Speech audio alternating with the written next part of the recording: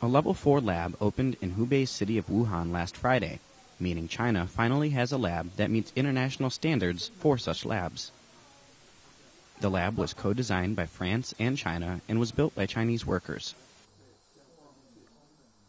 The facility is an essential platform for research and development concerning highly contagious and infectious diseases. It is the first such lab to be built in China.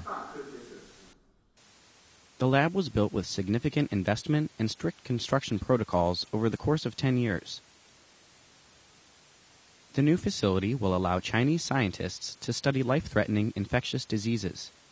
The Wuhan Institute of Virology said the lab is a specialized core facility for studying dangerous contagious diseases and must implement the highest possible safety measures. The laboratory is like a sealed box. Nothing inside can come out. We have to ensure that conditions in the laboratory are in a state of negative pressure in order to prevent anything from getting out.